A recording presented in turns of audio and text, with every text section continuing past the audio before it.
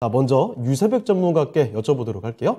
자, 유세백 전문가님 오늘장 특징주 어떤 종목일까요? 어, 암호 그린텍을 가져왔습니다. 알겠습니다. 오늘같이 어려웠던 시장에서도 야, 이 종목 파월의 폭풍을 뚫고 두 자릿수 상승률을 보여줬습니다. 어떤 일이 있었을까요? 어, 아무래도 이제 테슬라랑 리비안에 뭐 이렇게 자성 소재 공급한다라는 이 소식 속에서 어, 오늘 아침에 저도 이제 시장이 굉장히 충격적일 것이다라고 생각을 네. 해서 어, 이제 6시 반에 출근을 해가지고 뭐 리포트들을 뒤져봤었거든요. 네. 근데 아모그린텍이 떡하니 있더라고요. 근데 그래서 어, 리포트 관련해가지고 얘가 이슈를 받쳐주면 시장이 좋으면 그날 당일날 이렇게 네. 받쳐주거든요. 근데 어, 이렇다 할 특별한 뭐 강력하게 이끄는 종목들이 없으니까 이 리포트 사실이 좀 부각이 됐었던 것 같습니다. 아. 그러면서 오늘 어, 지금 굉장히 10%대 상승을 보여줬어요. 예. 300 종목도 안 되는 종목들이 상승을 했는데 그 중에서 암호그린텍이 이렇게 어, 이렇게 상승을 했다라는 부분은 이 종목이 그만큼 펀더멘탈이 좀 뛰어나다. 그리고 22년도 보다도 올해보다도 23년도에 매출이 더욱 크게 증가할 것이다라는 컨센이 나와 있습니다. 네. 그렇다라면 우리가 이제 지금 현 시점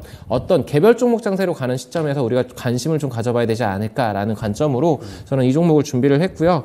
어, 그래서 이제 테슬라 뭐 그리고 리비안 관련해서 그리고 어, 매출 다각화를 통해서 지금 점진적으로 성장하는 기업이다. 시총은 물론 2천억대 그 위치하고 있어서 좀 작은 어, 종목인데 어, 네. small cap으로 좀 괜찮은 종목 같아서 좀 말씀을 드리게 됐습니다. 네, 알겠습니다. 자, 아모그린텍을 살펴드렸습니다. 테슬라, 리비안 관련해서 움직임이 좀 나오는 종목이죠. 작은 종목이긴 한데 오늘 뭐 긍정적인 리포트가 나왔던 모양이에요. 자, 그래서 어, 오늘같이 어려웠던 장에서 부각이 되면서 어, 10% 이상의 급등세로 거래를 마쳤습니다. 앞으로도 뭐 주목을 해볼 만한 종목이 아닌가 싶네요. 자, 아모그린텍 일단 오늘 장의 특징주로 어, 짚어드렸으니까요. 참고를 해보시고요.